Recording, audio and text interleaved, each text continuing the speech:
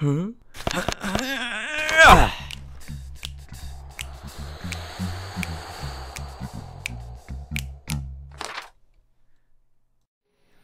Man nehme Hut und klatsche den Einstein ins Gesicht.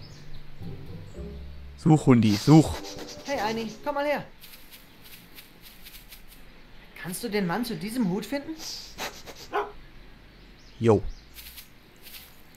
wieder hin? Das lässt sich nur auf eine Art rausfinden. Hinterher! Dö, dö, dö, dö, dö, dö. Und Doc duckt sich vor seinem eigenen Ich. Schön. Dö, dö, dö, dö, dö, dö, dö.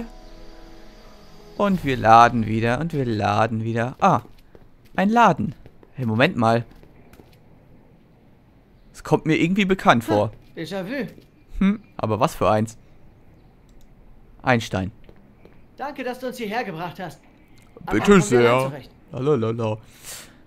Dann klingel ich einfach mal. Summer.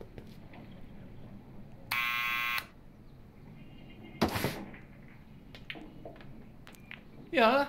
Wer ist da? Es ist McFly. Sch, Ich weiß. Jo. Ähm, wo ist denn die Vorladung? Arthurs Vorladung.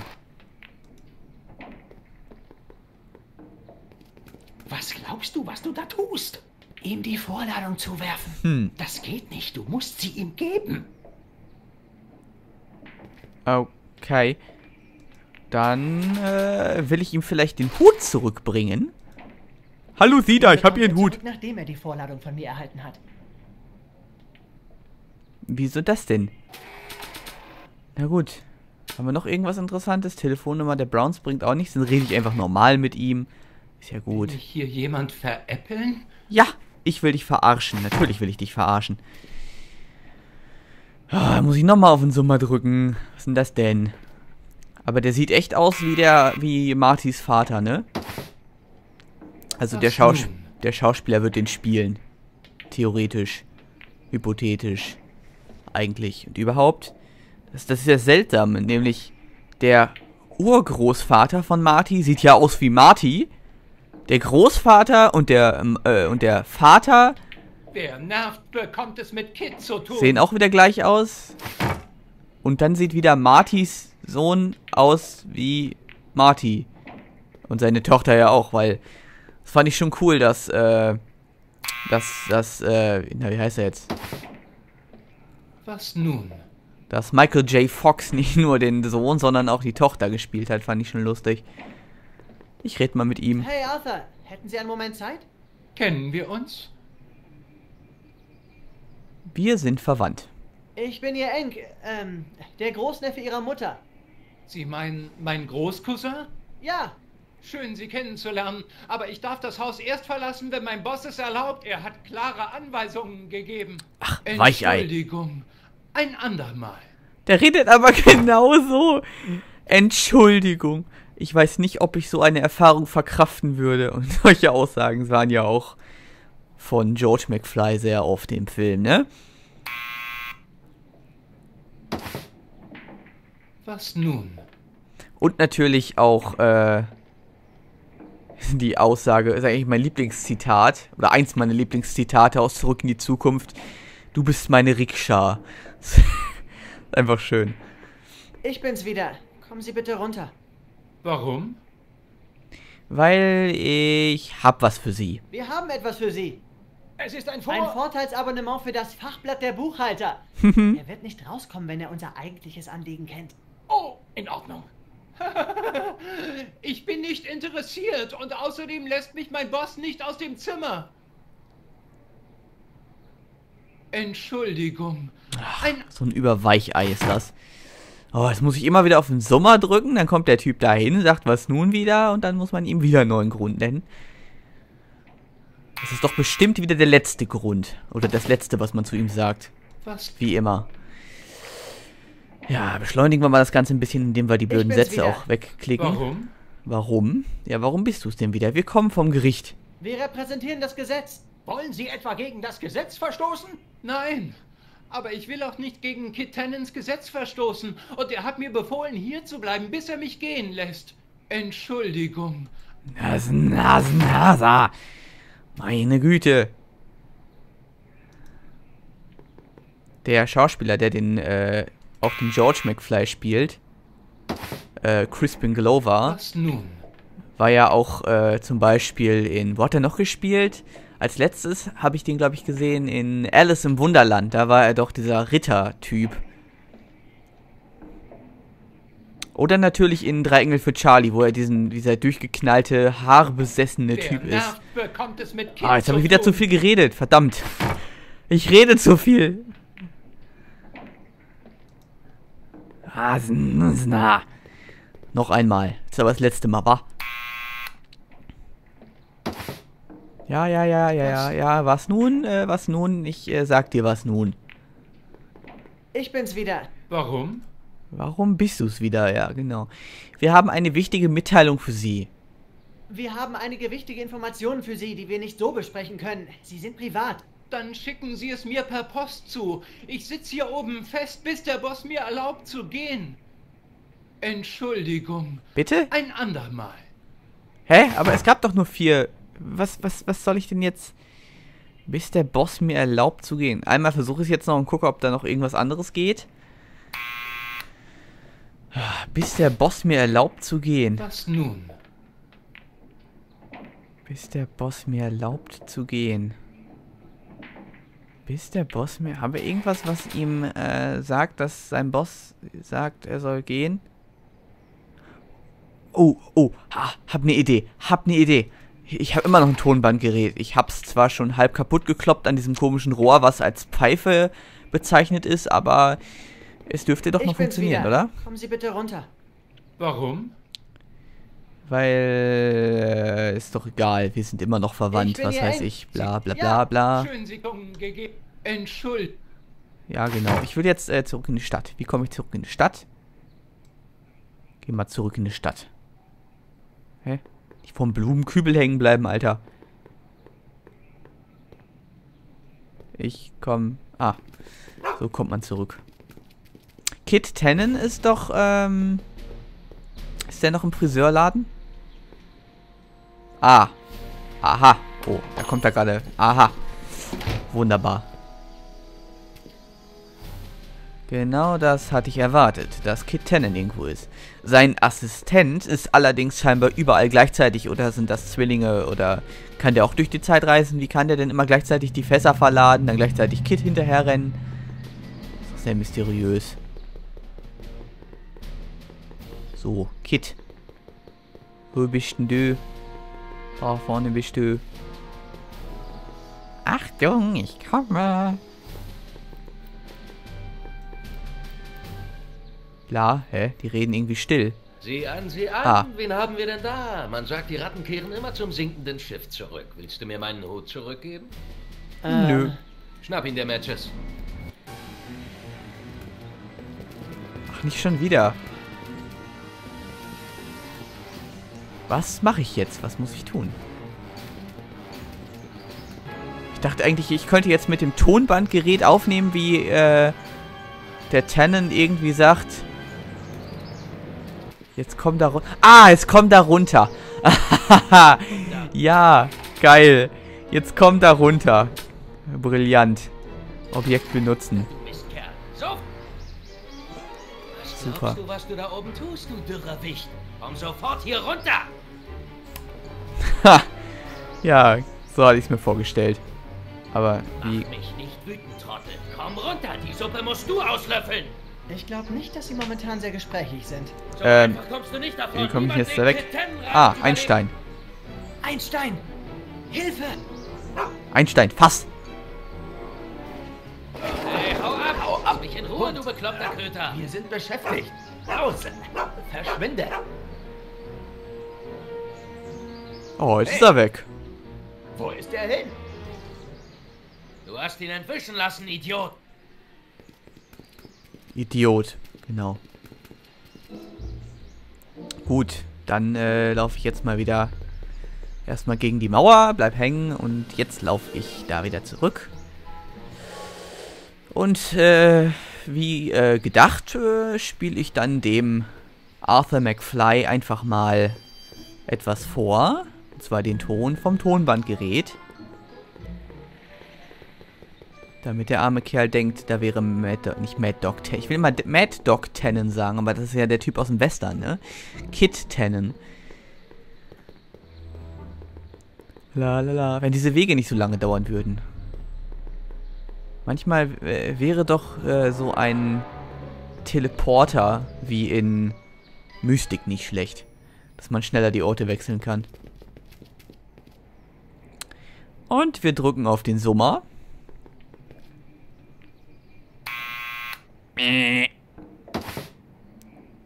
Was nun? Was Schnulles? Ja, was wollen Sie denn? Wer sind Sie überhaupt? Dann nehmen wir das Gerät. Objekt benutzen. Und mit Arthur benutzen. Mhm. Was glaubst du, was du da tust, du erbärmlicher Jammerlappen? Komm sofort da runter! Es ist Kit.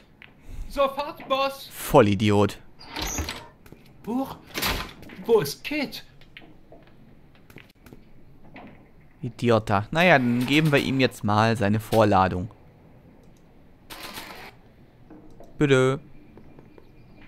Arthur McFly? Ja, Ich habe hier etwas. danke. Eine Vorladung. Ich fordere Sie auf, sich bei Gericht zu melden und Beweise vorzubringen zur Untersuchung. Kit Tannen? Nehmen Sie die zurück. Sie werden die nicht mehr los, Mr. McFly. Sobald Sie eine Vorladung erhalten haben, ist es Ihre Pflicht, sich dem Gericht mitzuteilen. Tun Sie das nicht, droht der Haftbefehl. Haft? Aber Kit wird mich töten. Dummer, dummer Arti. Heiliger Bimbam, was soll ich tun? Ich schlage vor, Sie nehmen den Schutz des Gerichts in Anspruch. Erstmal durchatmen. Oh Gott.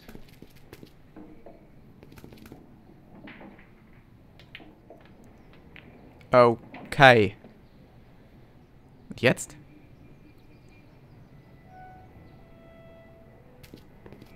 Die Vorladung wurde zugestellt Ah. und wir haben ein Fass voll Alkohol, das uns nach Hause geliefert wird. Jetzt könnten wir in dein Labor gehen und den Raketenbohrer bauen. Oh yeah. Äh, du hast doch ein Labor, oder? Was für ein zukünftiger Patentbesitzer wäre ich ohne Labor? Komm schon. Jetzt bin ich gespannt, wie das Labor aussieht. Doc, Bestimmt ganz viele Uhren. ich gehe los und hol den Raketenbohrer. Gut. Komm, gehen wir. Die Zeit wartet auf niemanden. Er fragt sich nicht, warum der Typ immer vom Gefängnis rumlungert.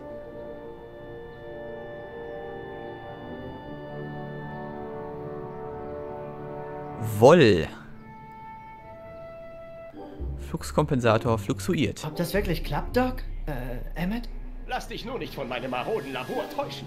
Wenn alles ganz genau nach Plan Schick. läuft, sind wir schon bald im Besitz des stärksten Raketentreibstoffs der Welt. Stark! Äh, wie? Das ist ganz einfach. Diese Kurbelwelle induziert eine starke Spannung direkt in die Elektrolysekammer, wo Wasserstoff entsteht, der regelmäßig in den primären Destillationszylinder abgegeben werden muss. Während wir uns um den Wasserstoff kümmern, müssen wir die Proteinflex in dieses Aquarium mit Knöllchenbakterien streuen, um den nötigen Stickstoff für die Katalyse der Reaktion zu erzeugen. Cool. Kalt? Nein, heiß, extrem heiß. Die Temperatur muss genau auf 623 Kelvin gehalten werden, indem man mit diesem Balk hier Das habe ich jetzt nicht verstanden. Noch Fragen? Das war mir zu hoch. Genau. Elektro, was? Emmett! Was suchen die zwei Trockenbolde auf meinem Rasen? Heiliger Bimbam, das ist mein Vater. Und? Und er weiß nicht, dass ich hier wissenschaftliche Forschungen betreibe. Er denkt, ich komme hierher, um Gesetzestexte zu kaufen. Oh, Ei, Karamba. Reaktion, ich versuche ihn abzuwimmeln. kümmere dich um... Wow, können wir nicht einfach von vorne anfangen, wenn er weg ist? Zu spät, die Reaktion läuft schon. Keine Sorge, ich versuche zu helfen, wo ich kann. Aber... Ich komme, Vater! Oh oh. Kann ich einmal speichern? Vater, Junge!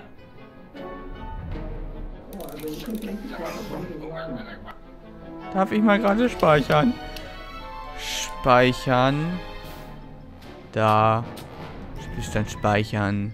Ja, will ich überschreiben.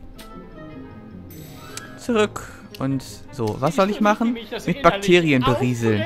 Wo sind denn Bakterien? Bakterien berieseln?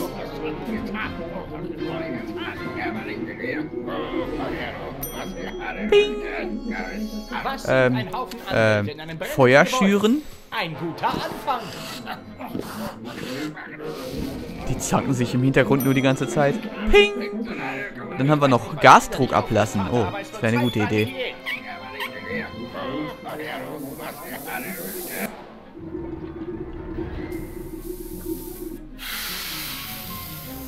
Okay. Achte genau auf meine Betonung. Emmett, dreh mir nicht den Rücken zu. Ach, Achte genau auf meine Betonung. Elektrische Kurbel drehen. brennende Leidenschaft sein. Aber meine ist es nicht. Nein! Oh. Was hast du getan? Emmett, mit wem redest du da? Mit niemandem. Ähm. Was kann ich dafür, dass der Funke einfach nicht überspringt? Funke. Nee, nein! Verdammt. Mit Funke meint er Strom, oder? Jetzt habe ich es gecheckt. Ich muss machen, was er genau sagt. Mist. Jetzt habe ich es verstanden. Ach, das ist mal zu checken, ne? Was ich sage. Emmett, ich bin noch nicht fertig mit dir. Emmett, ich bin noch nicht fertig mit dir. So, was sagt er? Nahrung für den Geist, Paps. Das ist Haferschleim. Äh, äh, Nahrung. Ich glaube, das meint er, wenn er Nahrung sagt. Ping. Vielleicht sollte mich ein Blitz treffen. Würde dich das glücklich machen? Blitz, elektrische Kurbel drehen.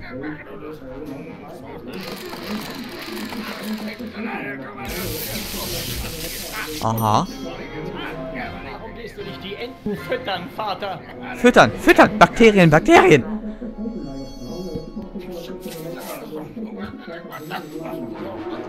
Blubber. Sehr gut. Jetzt das Ventil da drehen. Sehr gut. Wir haben schon ein Viertel geschafft. Ach, Gott sei Dank. Komm wieder her. Oh oh, es geht noch weiter.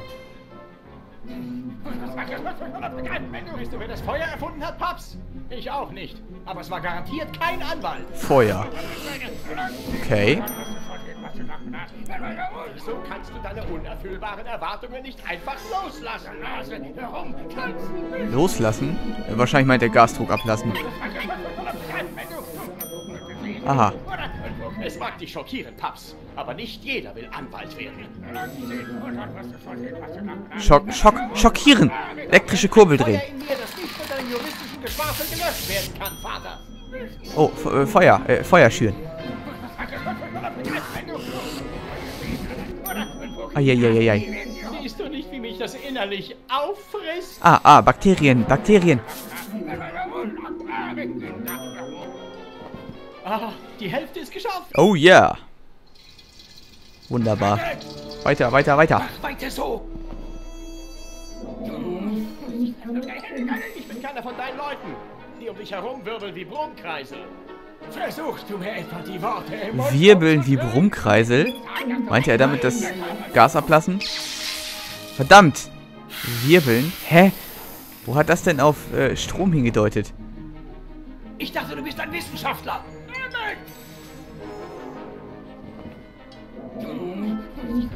Je hitziger du wirst, desto genauer weiß ich, dass Aha, ich Feuer schüren. Die von Braun sind Diener der Gerechtigkeit, seit der göttliche Funke die Menschheit erhält. Äh. Nein! Oh nö, da habe ich doch nicht drauf geklickt. Ich wollte nach rechts laufen. Mist. Mist, Mist, Mist, Mist, Mist. Entschuldigung. Nichts anfassen. Ja, ja, ja, ja, ja. Ich habe mich doch nur verklickt, Alter.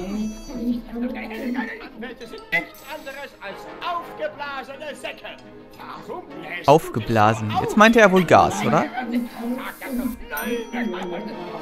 Ich weiß nicht, was dich innerlich auffrisst, Vater, aber es wird Zeit für eine Diät.